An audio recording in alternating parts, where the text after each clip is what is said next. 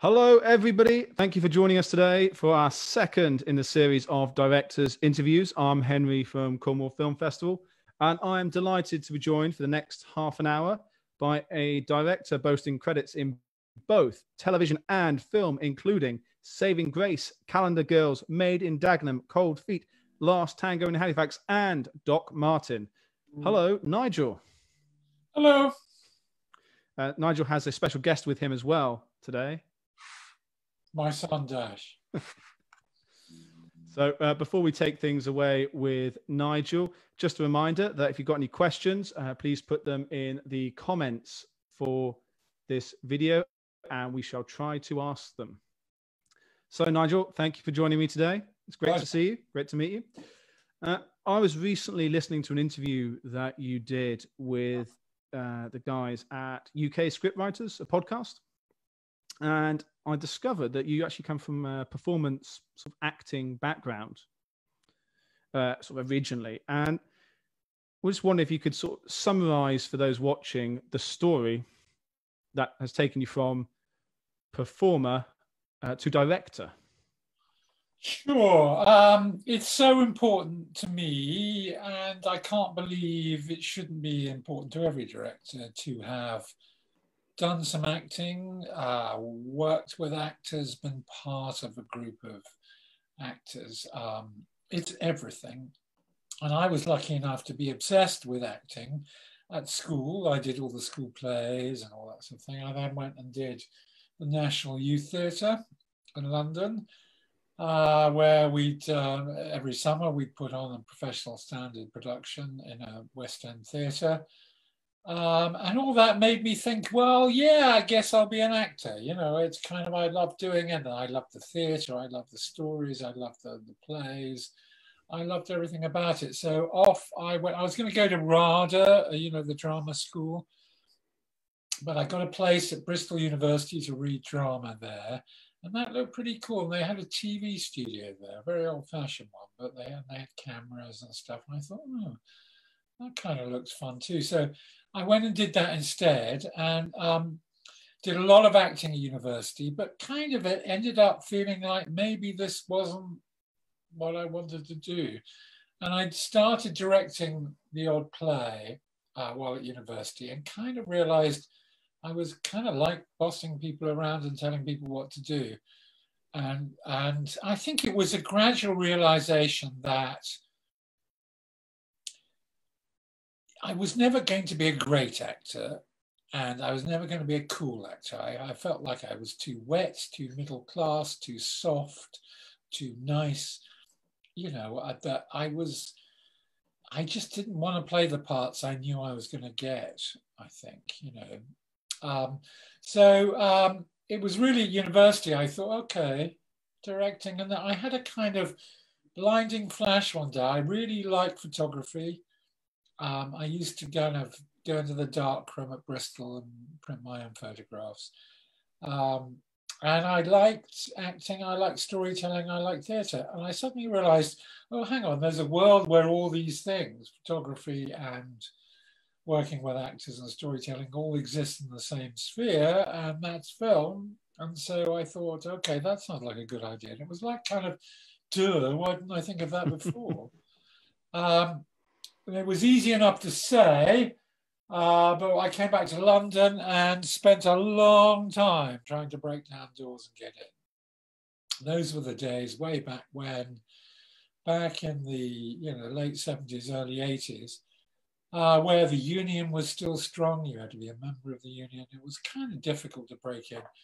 And I eventually got a job as a runner, you know, literally a gopher filling fridges full of booze and getting people's dry cleaning and you know getting their sandwiches. And you know I found a job doing that in a commercials production company.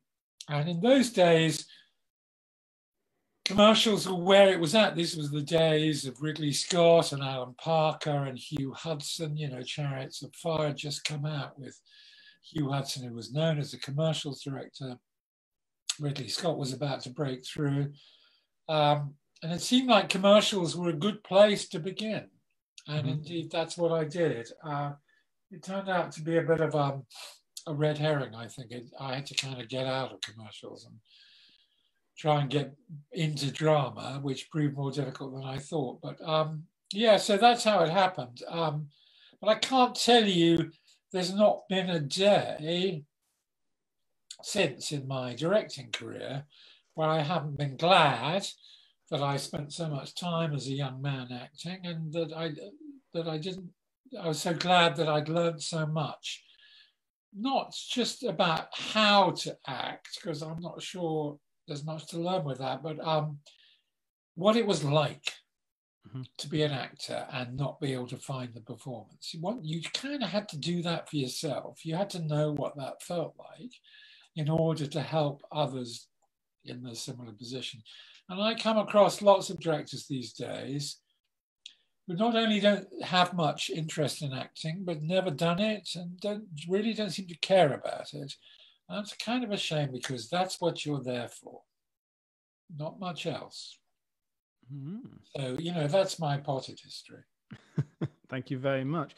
Um, so, with that, then, have there been or were there any directors as you were coming up, as it were, that influenced you greatly, aside from the big names or TV programs that really made you go, "Ooh, I want to make that"?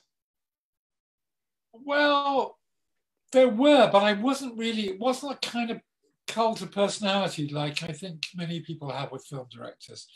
Um, I, I think if I had to pick a director out, I mean, I was, I was obsessed about the Beatles. And I loved the films.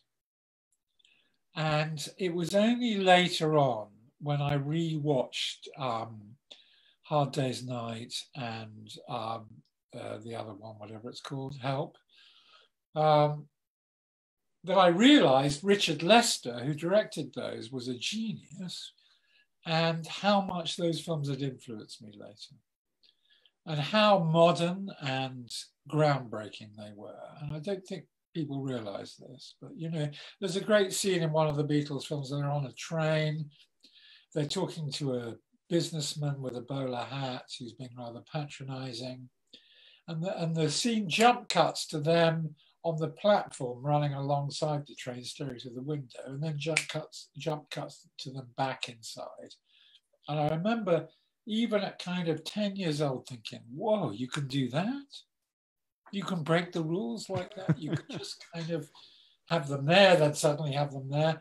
And I think um, Richard Lester is is much admired amongst, directors. Steven um, Soderbergh uh, wrote a whole thing about him.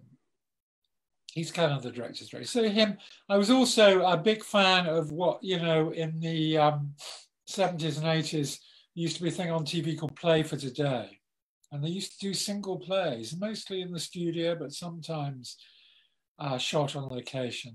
Um, Ken Loach with Cathy Come Home uh, kind of started there. And they were a big influence on me. I didn't know the names of the directors, but I, I kind of, you know, great cast, great writing, and with Ken Loach, great directing. So um, they, they were important. Um, so yeah, no, that's great. I mean, the thing that you sort of came to there is obviously it's that it's about that story that you're telling with whatever whoever's making it. It's you know vitally important to you know make something yes, really I've watchable. Never, um, I have to say I've never been a fan uh, and tried very hard in my own work not to draw attention to myself. And I've never been a fan of directors who do draw attention to themselves. And even some so-called, you know, great directors like Scorsese, and he is great, to me go do a little too much of look how clever that is. And you know i always say there's no such thing as a cool shot or um, a great or cool edit or you know effect.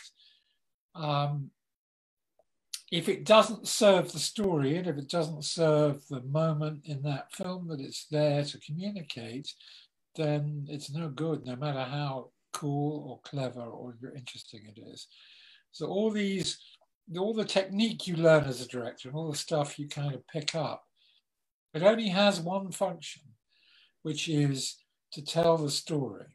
And it either tells the story in an interesting and subtle and multi-layered way, or it doesn't. And if it does, then it's a great shot. even if it's the most boring setup you could imagine. Because sometimes that's what you need. So, you know, um, I've never been attracted to film directing per se, you know, the, the, the whole idea of showing off with your craft. I think the craft should be invisible. Um, basically, watching a film is, is a process of being hypnotized. You are self hypnotizing yourself into a weird mental state where you believe that what you're watching on the screen is really happening and you kind of become emotionally involved in it. This clearly is nonsense because we know it's not happening. But for a while, for the hour and a half the film runs, you kind of um, hypnotize yourself into believing that this is real and you're part of it. And anything that draws attention to the fact that you're watching a film is a bit like saying, wake up, you're back in the room to an audience. It kind of, you go, oh, well, I'm watching a film. And so, you know, a kind of great tracking shot or an endless crane shot or a kind of cool shot where, you know, you can't work out how they could have got that angle to me is waking people up and losing that hypnosis they need to lose themselves in the emotion of the film. So I, I, I try and do a light touch. So I'm not a fan of directors per se, um, but you know, probably um, uh, I love, um, oh God, you see, um, I can never remember anyone's names. I have. It's okay, don't worry. There's a name for the condition where you can't remember anyone's names, but I can't remember the. We'll name. see if anyone in the comments can help us with that one. So if anyone in the comments there can. Um, but um, who directed Local Hero and Gregory's Girl and That Sinking Feeling and um, Comfort and Joy? Bill Forsyth is a Scottish, British Scottish director and I, I think he was a huge influence on me. If, if you don't know Local Hero, you should watch it. It's a great. Okay, film. I'll make put that on my list to do later. No, it today. has that. It has what he was good at doing, which is what I've tried to do and everything I've done, is balancing comedy and drama. So that it kind of makes you laugh. It's kind of funny and quirky, but it has some truth. It has some real believable drama and it's a basically a grounded film. I don't do fantasy. Uh, I like to keep things real, but I like to keep things funny. And Bill Forsyth, Local Hero is about an American oil company trying to buy a small Scottish uh, bay um, in the outlying parts of Scotland to turn it into an oil refinery. So it's about the big guys, the big businessmen come from America and they come to this small, tiny or Scottish rural community and of course realize that um, they, they expect the guy, the Scottish people to be idiots and that they can run rings around them and they soon discover it's the other way around. It's a great film. Sounds like I, to, I will actually go watch that. No, and people no. seem to be uh, people do seem to be liking it as one of the comments. Got a lot of saying it's an excellent film as well. And I think you know it's it's. I'm hoping I would be incredibly flattered if people could see how the style of that film has is reflected in some of the films I've done. Mm. Well, there could be sort of that common stylistic theme as well to go yeah. to go look for in all your work. So everyone has to get rewatching basically. Well, I've only made um, one film really. I've made seven films, and I've all had the same theme, uh, which is people straying outside their comfort zone. You know what happens to people, particularly yeah. a group of people, when they go beyond what they feel comfortable with, and you know. And a lot of that, obviously, is there's uh, Calendar Girls and Made in Dagenham that has really uh, important focuses on women and women's rights and identity. Yeah are you drawn to those sorts of stories about um, women in particular, or is it just something that you? You've... Well, I clearly am, and it would be uh, ludicrous for me to deny it because my IMDb page shows otherwise. Um, and I've been asked a lot why I make films about women, and the answer is I have no idea. um, uh, I think some of it is a process of exclusion. So um, uh, I don't do car chases. I don't do things with guns. I don't particularly enjoy filming violence. And uh, so that excludes 80% of movies about men. And if, you know, if people kind of get that idea, then the scripts I get sent tend to be about women. But I love women. I, I've always um, been fascinated by women who, you know, it's a ridiculous thing to say, of course, everybody is. But um, uh, I think I'm more interested in women than men. And the, the classic male cinema cinematic character is the strong, silent type who can't express his feelings. Um, you know, the kind of the hero. And I've no particular interest in doing stories about characters who can't express their feelings. No, that makes that does make perfect sense to me. I'm sure. Uh, so I've ended up making lots of films about women, but I love that, and um, you know, um, I did try and avoid making Calendar Girls. Uh, I kept turning it down. I'd had a big success with Saving Grace, which was about Brenda Blethyn and her character, a middle-aged woman finding her mojo. And uh, I got offered Calendar Girls, and I kept saying, "Isn't this about ten middle-aged women finding their mojo? I guess it's more women, but it's the same story." And I kept saying no to it. Um, at the end, they wore me down. And I, my, my worry was, and the reason I said no, because I love the idea and the script, the reason I said no was I, am going to get stuck with this middle aged women finding their mojo thing. And I was right. It's probably worse things to be stuck with there, though, aren't there? So, be, yeah. Yes, it's matter. Uh, so on to the topic, I guess, of then you've been director on all those projects, and over a number of years, you've obviously had various ones, both in TV and film how do you sort of see your role as a director on set? Well, this is a big subject. Uh oh, I'll, I'll, cut you off if we go go too long. Um, well, um, two things really, two things to bear in mind. Um, one is I'm the only person there who can't do anything. I have no skills relevant to making a film. Uh, there are actors there who are great actors. There are, you know, directors of photography who know everything about cameras and, and how to light.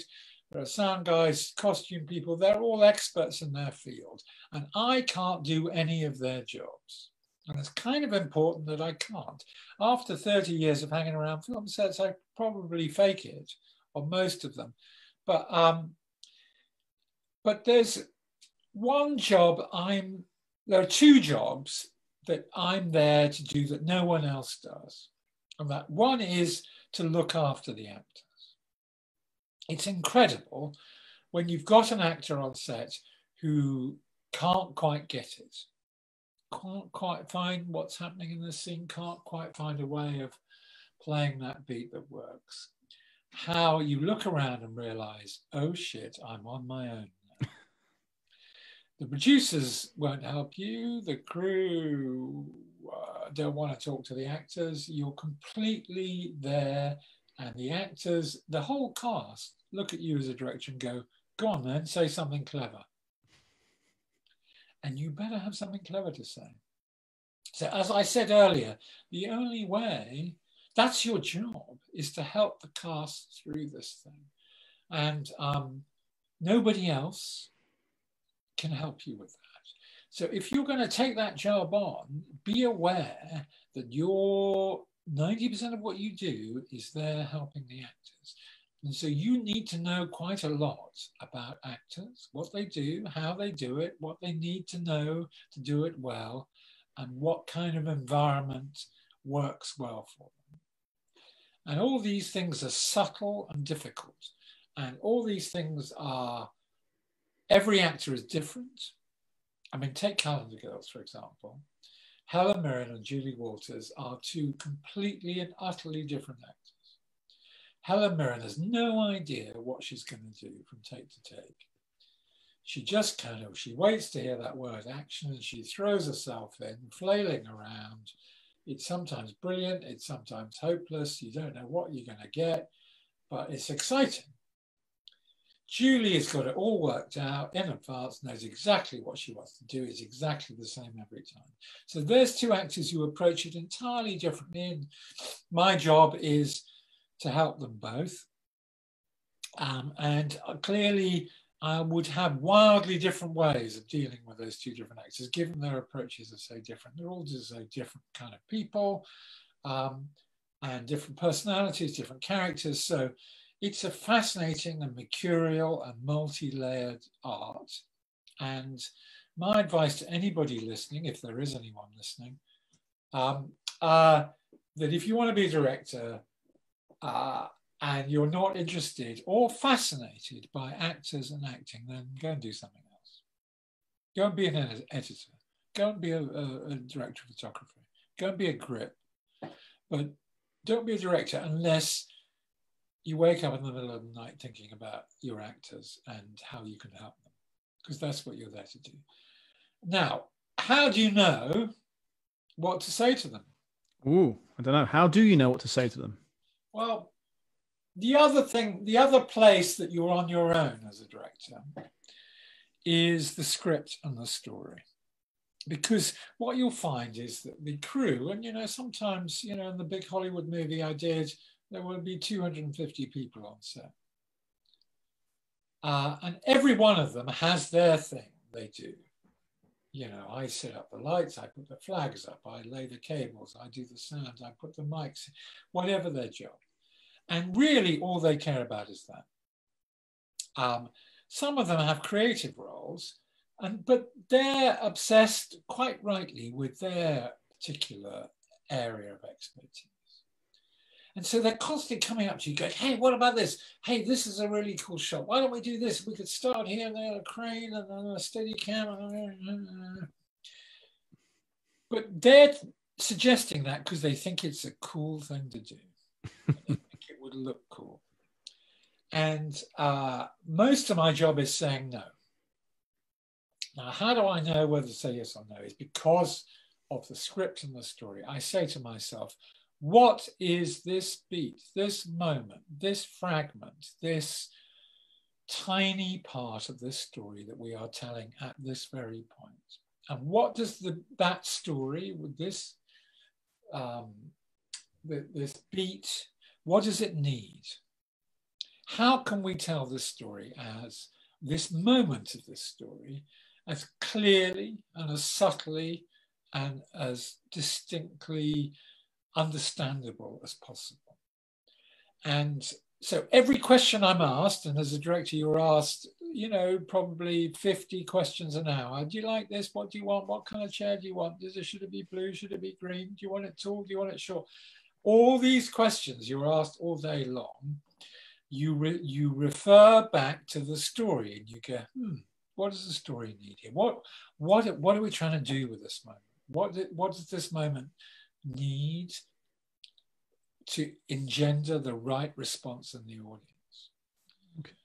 Uh, and once you kind of get that in your head, it's kind of easy because you know the script better than anybody there. You've been studying it, reading it, shouting at the writer um, for sometimes five years. You know, um, some of the scripts I've made have taken years between having the idea and um, actually started filming. So you know that script better than anybody. So you're ahead. You, you're kind of already in a, in a good place.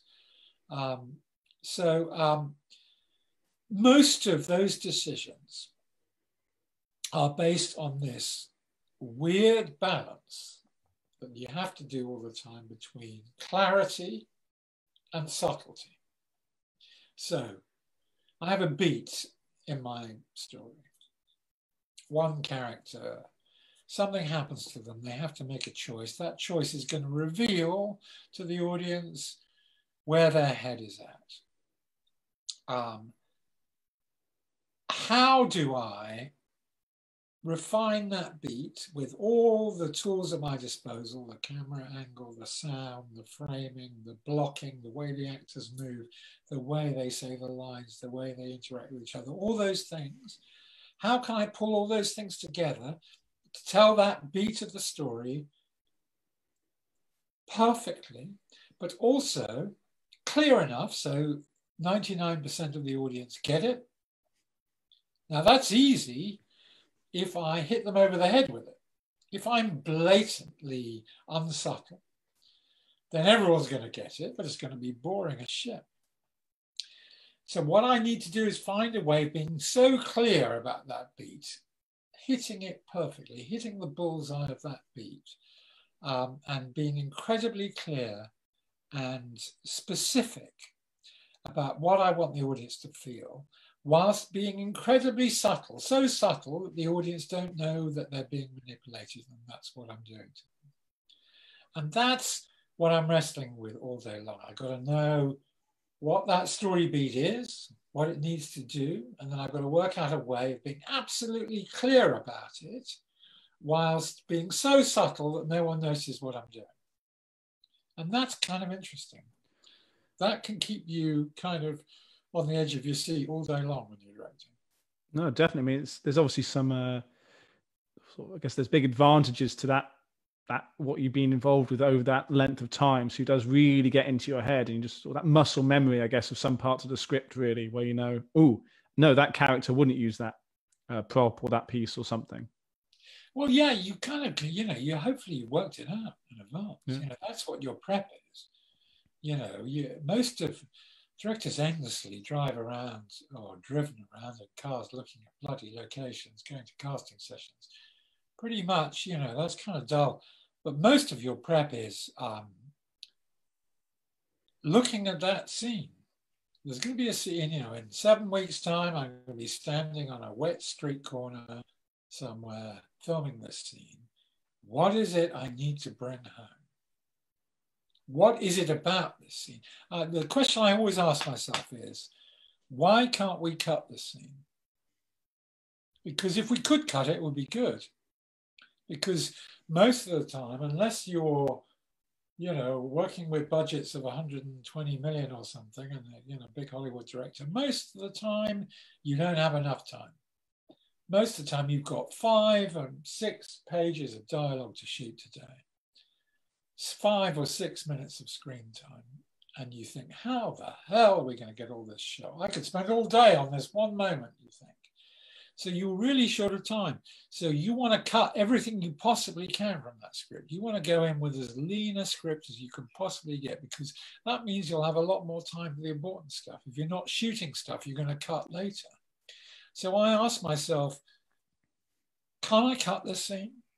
And usually there's a reason why I can't. And that reason why I can't cut it is what I must come home so I say to myself, I can't cut the scene because this is where we learn that she is, uh, you know, scared of something or she doesn't like him. And if that's why I can't cut it, that is the key moment of the scene I have to get. It's amazing how often you spend all morning giving yourself a heart attack trying to shoot a scene and you forget to shoot or to include in the shooting of that scene the very thing that that scene had to do. because you were far too distracted with, oh, this would be cool, or this would be interesting, or wow, this is going to make me look like a good director, or this is going to impress the camera crew, or um, this will be wacky for the actors to do but it's no good. None of it's at all interesting or useful to you in the cutting room if it doesn't do the job that that scene has to do in that story. And you're going to have 60 or 70 scenes, maybe more. You know, an action movie, you might have over 100 scenes.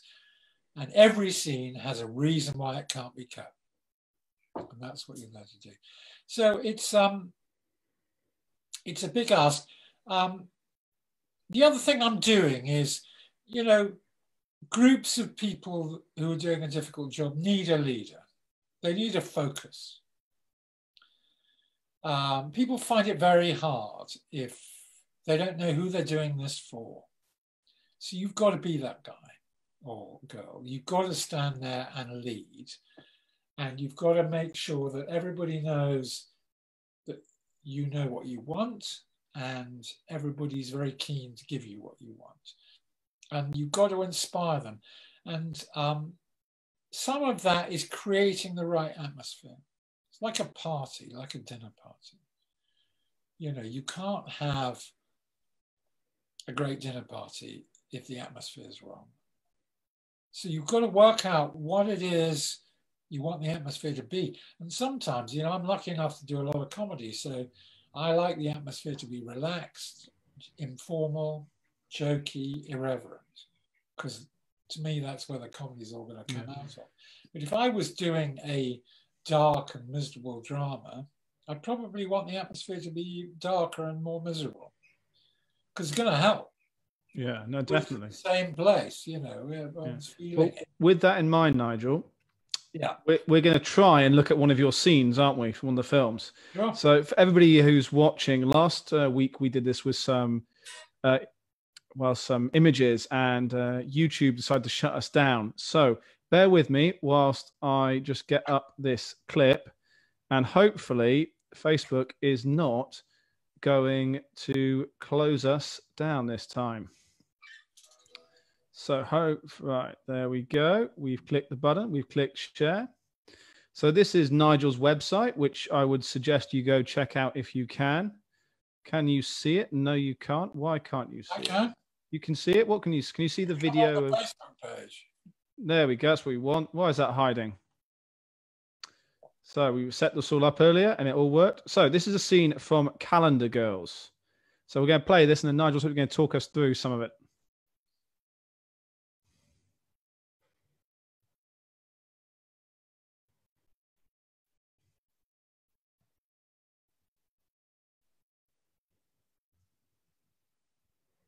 I can't hear it. I'm hoping everyone else can.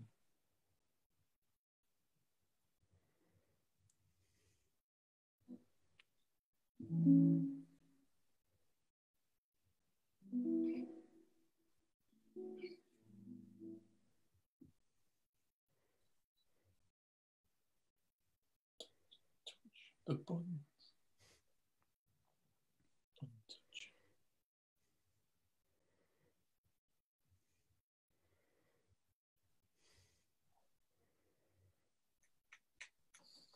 Right, so let's stop that share and just come back. So you should just have me and Nigel back on your screens now.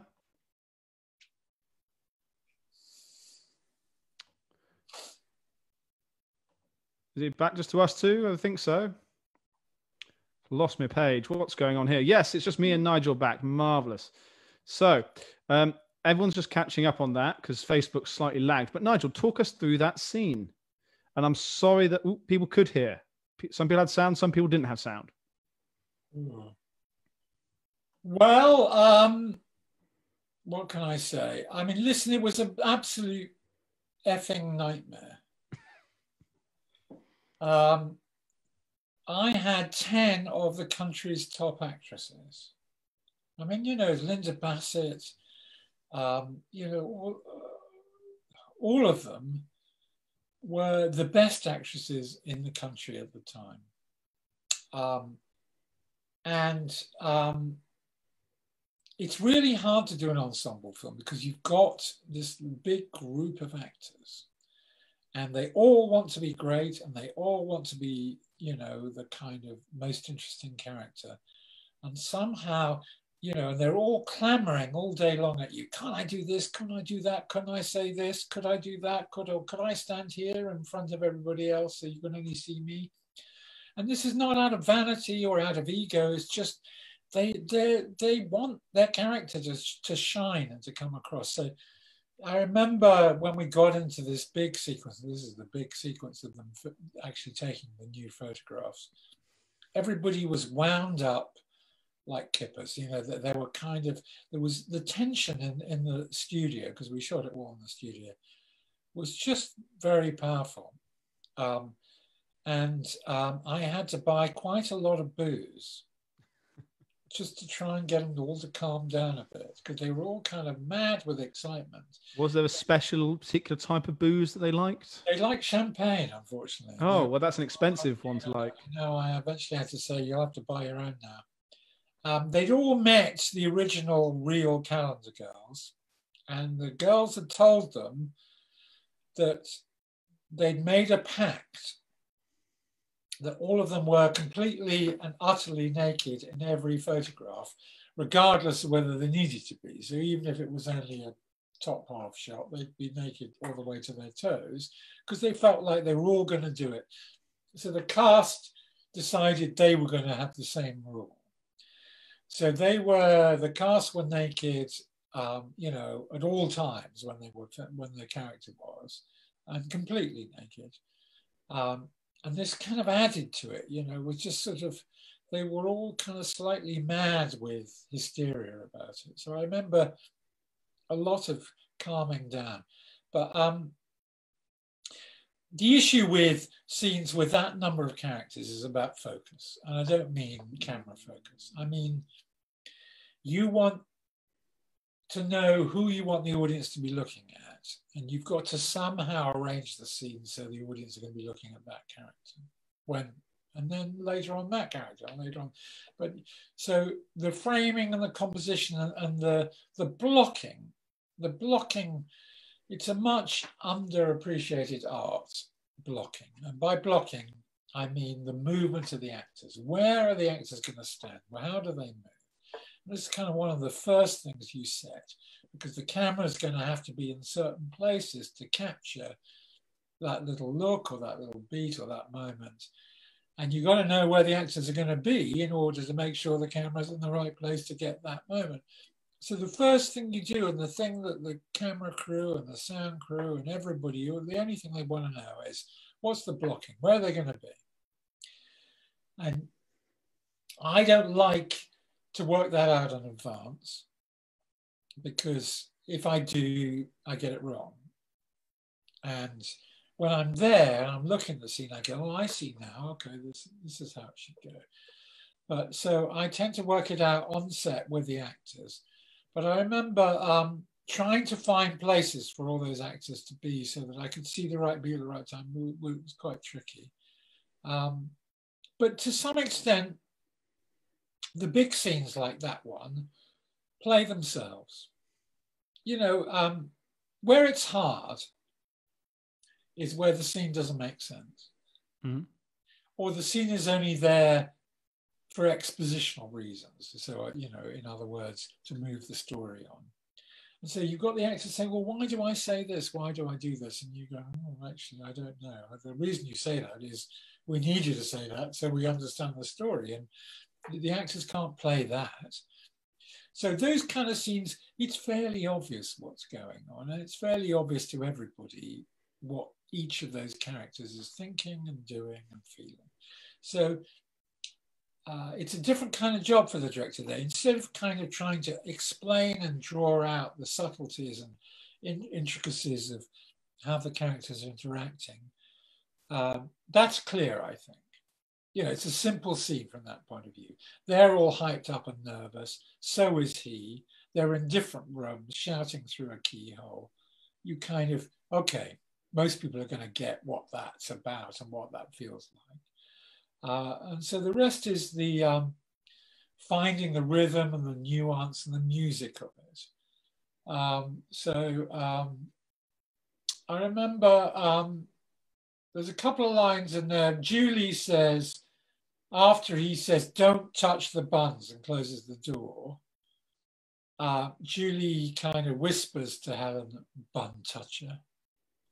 And Julie um, improvised that line. I remember being very impressed and pleased with it because I really liked it. Um, uh, and um, yes, uh, I tried to give Philip Glenister, who plays the photographer, I tried to give him and the girls a kind of real experience. I kept them apart for ages. I didn't rehearse with them the, the two groups because um, I wanted I wanted him to be intimidated on the day that he was going to have to work with all these dames.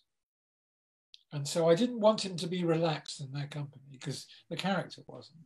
So I remember kind of keeping them apart a bit.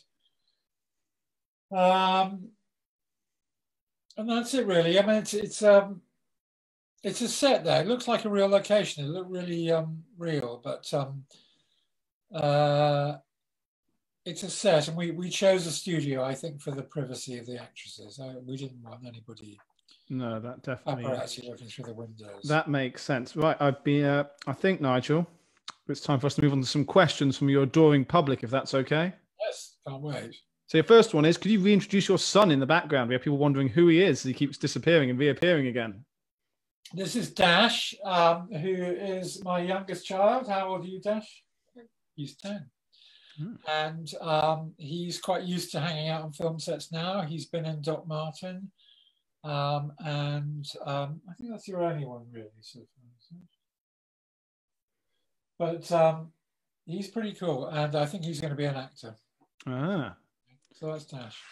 following the family footsteps. Okay, so our next question up is about Doc Martin. Yep. We've got a few of those. Um, so Yes, there will be a Series 10. yeah, there will be a series. Oh, there we go. Everybody, uh, you heard that here first, last. I'm We're not quite working sure. on it. It's, it's official. We're doing it. Okay, filmed Ma- next we'll get out of this lockdown first. Um, the question is really relating to, uh, particularly for series or TV series. How do you change how you work when going in to work with characters who sort of know who they are already? It's a good question. I mean, uh, it's it's a bit easier. I mean, most most of the nightmare of doing, you know, a pilot episode or a film is you do you you wake up in the middle of the night thinking, does this work? Are we doing the right thing? Is this awful? Am I really screwing up here? With a long running show, you don't ever think that because you know exactly what works and you know you've seen it you know what it feels like, what it tastes like, what it sounds like. So um, you've got a huge advantage. You're not kind of groping in the dark. You know what the model is, and you know. So on set, you know, if it feels like Doc Martin, you think, okay, well, that's probably going to work then. So th- this, to some extent, it's, it's easier. But the end of the day, actors and directors talk less about character than you'd think. Mhm. Because as a human being, one's not aware of one's own character. When you're going through life interacting with people, you don't think, well, I'm a sort of this kind of person, therefore I'm going to behave in this kind of way. No one thinks like that. You just react. And actors are doing the same thing. They're just reacting to things. And so every scene, every episode is a new set of things for those characters to react to. And, you know, they have to make those choices just as if it was a one off film or the first ever episode. You still go, huh, gosh, that's interesting. What would my character do? How would they react if this happened to them? Mm. No, Uh, definitely. and you still got to make those same ask those same questions um, so you know it's still um, you still have to think about it and make choices and make decisions and it's making choices you know that's all we do all day is you know and that's what i mean about there's no such thing as great acting and actors are all actors are convinced there's su- such a thing as great acting so they'll try and do great acting and then i tell them to stop it we best not get too deep into the acting or great acting. Otherwise, I think we could be here for a long time. okay I- I'm just, I, I- I'd like, it does sound very interesting, but I think I want to get people some more Doc Martin questions. Yeah, uh, ahead. How the hell do you do your blocking in the middle of Port Isaac? Well, it's a nightmare because, um, as everyone knows, you know, particularly in the July part of the shoot, uh, but pretty much these days all the way through, we can have three or four hundred people standing in the street watching us. It's like doing street theatre.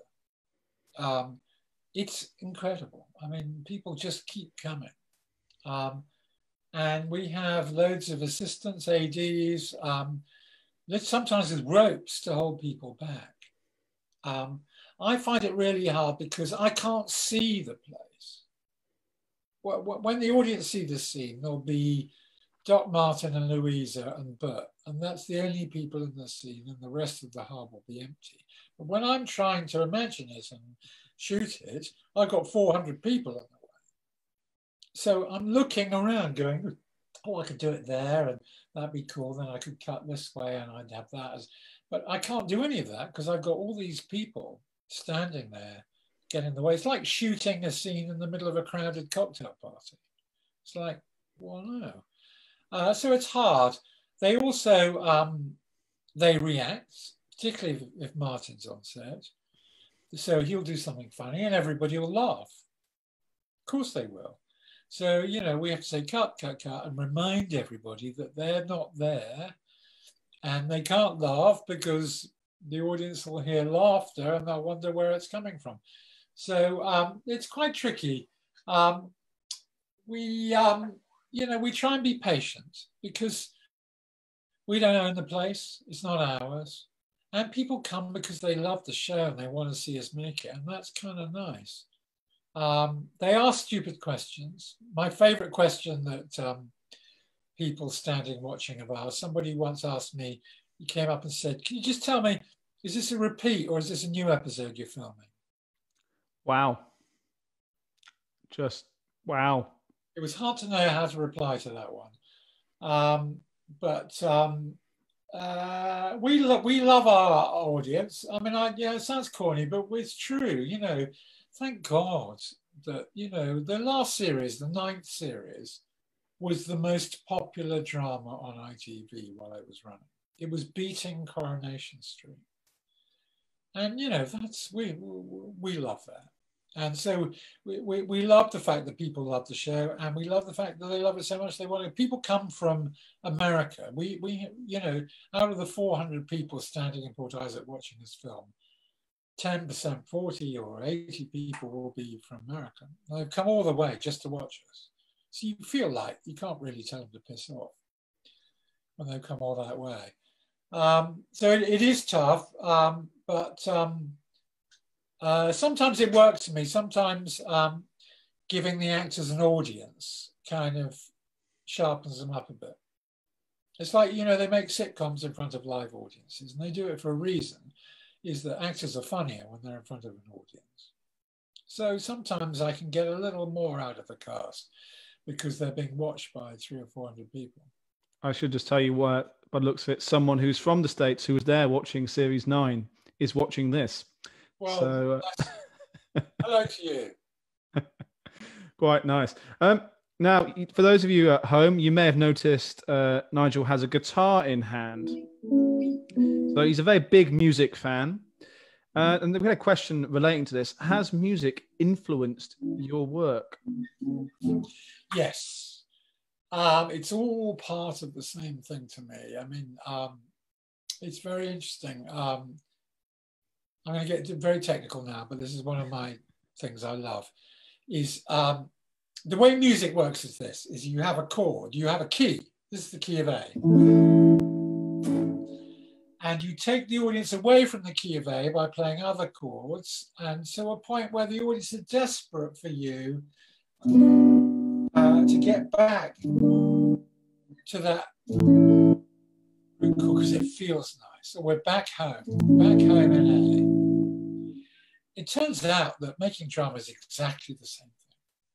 You take characters and uh, you have the audience fall in love with them, and then you put them in places of danger and you put them under pressure to a point where the audience are desperate for them to get back home. It's all about setting up tension and then the release of tension and the same thing. So when I when I got into music, which was after I started directing, I realized it's the same thing. It's the same language. It's about creating tension and then releasing. So that's very interesting. Music has a wonderful, no director I know will watch their own rushes, the, the raw footage, without music playing. It's, it's almost impossible to bear to watch them without music. Music makes it work. It's like, um, it's like chips without ketchup. Who'd want it? You know what I mean? It's you've got to have that music. Music, and that's because there's some magical thing about music that cuts straight through to the emotions, that works on the emotions in a way that's entirely non-intellectual, is entirely visceral, is entirely physical. Um, and it's a fantastic aid and tool to create feeling and emotion. in your audience. So it's it's vital. And um, interestingly, in Doc Martin, for example, um, all the music is written especially for each episode. Other shows have stock pieces of music they just kind of pull out and stick on. We, our composer, Colin Towns, writes a new piece of music for every scene in Doc Martin, every new episode. And I think that's one of the reasons it works so well. We, we really care about the music. And I've always loved music in, in film. And, you know, there's a lot of music in Calendar Girls and Saving Grace in Made in Dagenham, you know. Um, so there you go. No, that's great. I think we've got time for a couple more questions. Uh, one of which was obviously what's next. Anything else aside from Doc Martin in the works, or? Yeah, I took a break from making films. I made seven films, um, and um, uh, the last one I made was uh, six or seven years ago, and i t- I've taken a deliberate break, um, partly because they were exhausting, mm-hmm. uh, partly because I want to spend more time with this one. Mm-hmm. Um, I'd missed out on my daughter's early childhood quite a lot by being away filming a lot. So I thought, I want to be home more. Um, and partly because they're, you know, it's like they're, they're, they're huge things to do. They're, they're, they take two, three years of your life and they take everything out of you. And sometimes the cost benefit analysis, i.e., what you have to invest in them and compared to what you get back, isn't very good. You can ruin your health for three years with the stress and physical endurance. And then it comes out and people go, yeah. And you think, really, was that worth it? Maybe not. So I got to a point where I thought, ah, oh, I've kind of had enough of this. Uh, and so I gave it up. And I, that's when I started doing Doc Martin, and I did Last Tango in Halifax. And I started doing documentaries, which I love doing. I did one about Bruce Springsteen and one about Roy Orbison. Um, but after about four or five years of this, of course, you know, the old addiction starts creeping its way back in. And by last year, I suddenly found myself quite keen to do another film. So I'm working on two films at the moment. Um, both of which looked like they were about to happen, but then the whole lockdown thing, oh God knows who. Uh, well, one is briefly um, a classic Nigel Cole film. It's about a group of uh, working class gardeners who work on an allotment, who end up entering the Chelsea Flower Show and taking on the posh knobs of Chelsea. Um, and um, that's uh, in its final scripting stage at the moment. Um, and the other one is based on this um, and my experiences when I was um, in my 50s. I joined a band and played in a band for the first time in my life. It was one of my ambitions. And um, I have a film script about a group of middle aged men who form a band. Um, and that's called Wasted. And uh, we're hoping to do that quite soon as well. So, a couple of films on the go. I'm making some more documentaries um, and we're gearing up. We're in the scripting stage of Doc Martin Series 10. Mm, well, it'd be great if, obviously, when it gets to that point, if you fancy sending your uh, your features or if you make any shorts, do send them down to the Cornwall Film Festival. Of course. That'd be, you know, we'd love to have you down as well. So I've got a final question for you before uh, we go offline from Facebook. I was taking this from somewhere else, but what's the first thing you're going to do after lockdown? Ooh, what should, what should we do? No, I, I like shopping. I'm a big shopping guy. So I'm missing going out and spending money, but it's good for my bank balance. um, I like guitars, and I haven't been to a guitar shop for um, three weeks now, and that's beginning to hurt. I, I listen, we're all, you know, that kind of social thing, you know, I mean, restaurants, meals with friends, family, you know. I can't wait to do that again. And working, you know, we're, we're, we're um, you know, nobody's filming at the moment. They've even shut down EastEnders, and you know it's serious when they do that. So, um, yeah. You know, I saw an article saying that the uh, the new studio is nearly finished as well for EastEnders, or the new lot is uh, nearly up and running. And Connie, I can see your post there where you're about to play a song for us earlier. Uh, no one wants to hear me play. It's something I do for myself. um, and uh, but thank you, but no. Oh, okay. Well, Nigel, thank you very much for joining us today. It's been really nice talking to you. And uh, thank you everyone else for joining us on Facebook. We've uh, it's been great. So we're going to go offline now, but do come back for more soon. If you've got any more questions, do just send them across, and we'll see if Nigel is willing to talk again with us. Right. So I now do this. I say do.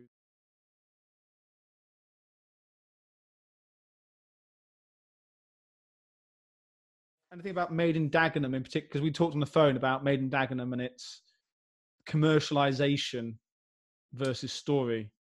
Well, it's to, Made Dagenham's a tough one because everybody thinks that was my idea because it seems like a kind of Nigel Cole film, you know, following on Calendar Girls, a group of women find themselves, that, you know, suddenly with a spotlight on them and they're taken out of their comfort zone. It's got all the elements.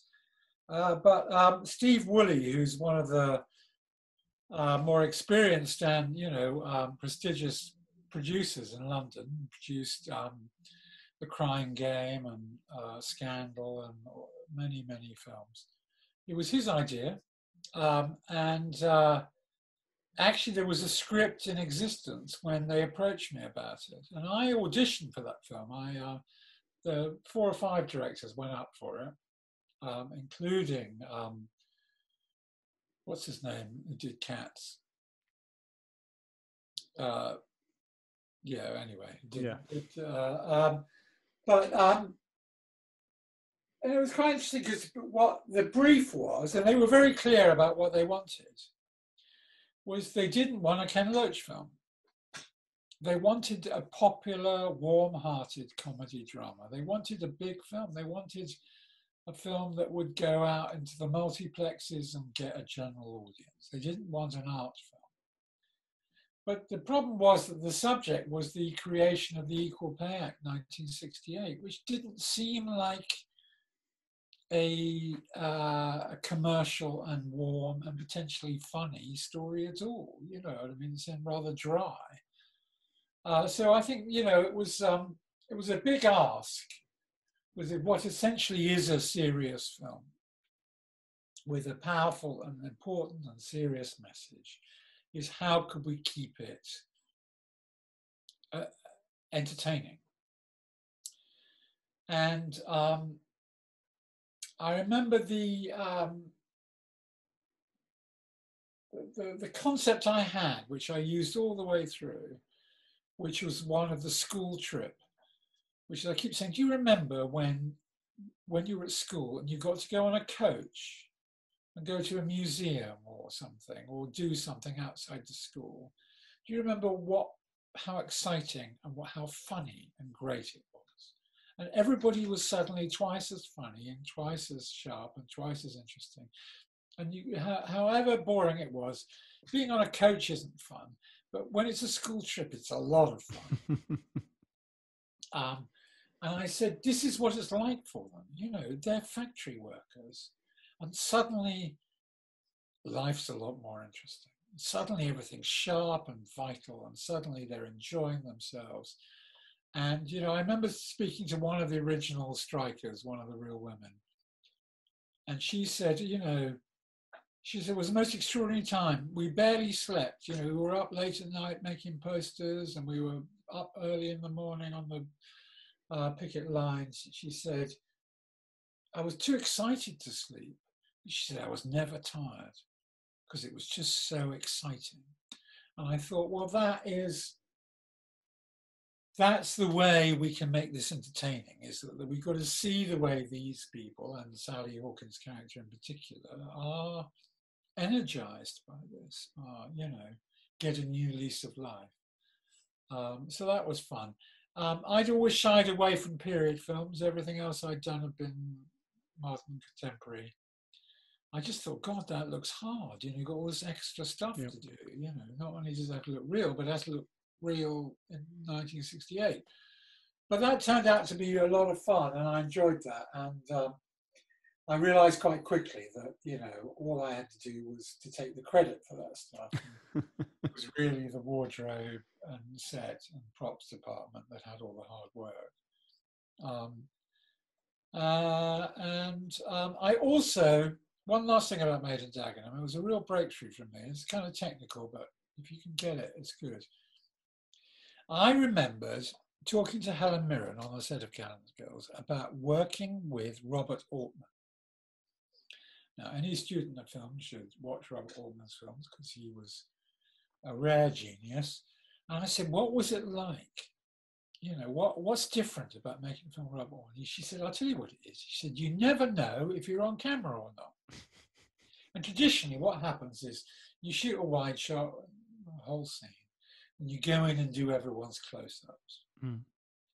And there's a terrible tyranny that happens because if you imagine suddenly it's your close up, the whole focus of everybody's on you. Uh, the camera comes in closer, the lights come in closer, the makeup people come in and redo your makeup, the microphone comes a bit closer.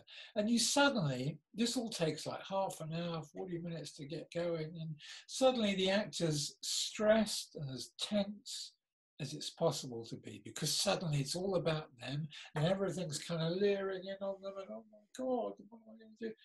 Um, and she said with robert altman you don't know if you're even in the shot. You said there are cameras flying around out there but you don't know who they're, they're filming. He just keeps doing the scene and he's whispering to the camera to do things to be he said she said i thought that was great. It was liberating. She said you never felt scared or nervous. You just kept doing the scene as best you could. And I thought that sounds great. So I tried that out on Made in Dagenham and I loved doing it. And we, rather than everything being presented to the camera and all about the camera, we'd have two or three cameras flying around on track on the periphery of the scene, on the edge of the scene, finding things and picking stuff out. And uh, the actors adored it and they said it was more like theatre where you just kind of keep running the scene yeah. rather than okay we're going to do this fragment now and you know there's so much technical stuff in film where you have to hit a mark and you have to be in continuity and you have to all this stuff and, you, and it drags the the actor's brain away from thinking about what they should be thinking which is what's going on and how do I feel about it and um, uh, so yeah, I tried a whole different technique, which I now use a lot. So um, I, I learned a lot on that film.